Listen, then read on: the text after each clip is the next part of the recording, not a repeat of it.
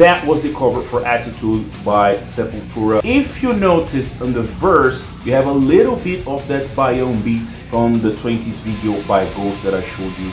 And of course, Sepultura being one of the biggest names of mixing metal and Brazilian music, percussions and etc. in their history. So of course I had to do a cover for this amazing song.